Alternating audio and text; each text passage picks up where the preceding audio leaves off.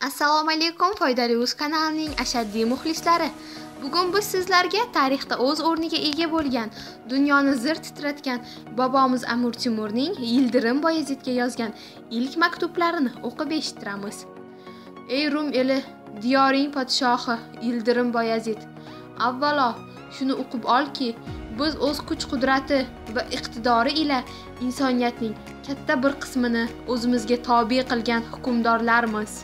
Bunday misli qurilmagan ishni o'z jiddu jahdimiz bilan qildik. Sen kabi iqtidorni ota bobolarimizdan meros qilib olmadik.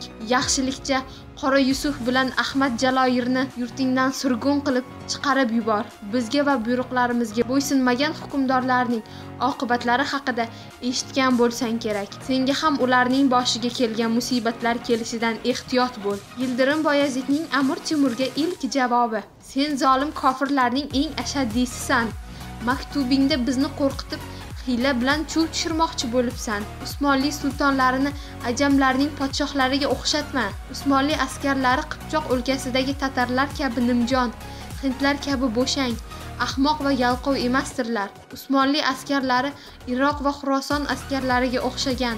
Ahamiyatsiz va parishon emas balki nihoyatda g'ururli askarlardir. Shuningdek sen usmonli askarlarini shom va halab askarlariga ham o'xshatma.